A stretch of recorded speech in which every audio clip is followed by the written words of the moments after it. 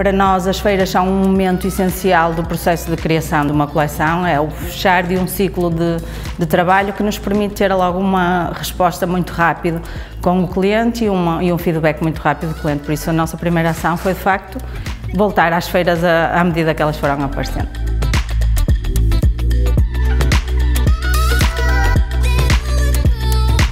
As feiras são para nós um, um meio muito importante de estar com o cliente, lhe mostrar os nossos produtos, discutir de que forma é que podemos fazer, mesmo a parte do private label. Para além disso, também trabalhamos mais o B2C, em que nós apostamos nas nossas estratégias de marketing digital, melhoramos o site, as fotografias, numa de também durante a Covid e após o Covid, conseguir chegar mais ao consumidor final.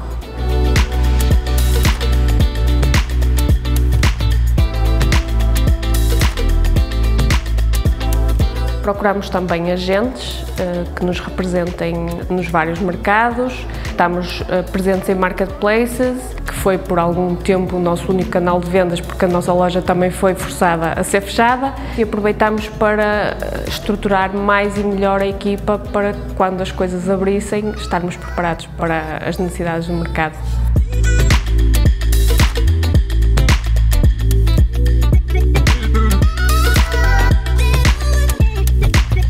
Estratégica, que é compreender quais é que são os mercados que se encaixam bem com cada tipo de empresa.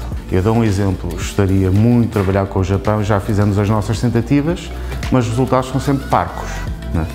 Para nós conseguirmos aumentar a presença no Japão, temos de ser muito mais eh, ter mais continuidade lá. Mas mesmo cá na Europa, haver continuidade nas ações que fazemos, haver consistência, não haver intermitência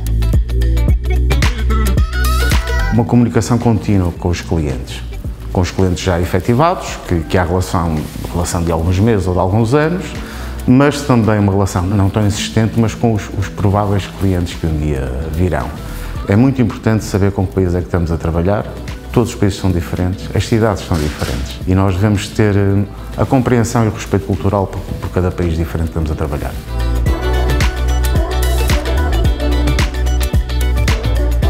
Nós temos nos últimos anos, o CENIT, com o projeto 100% Moda Portugal, tem vindo a crescer o número de empresas e marcas a feiras, ao digital.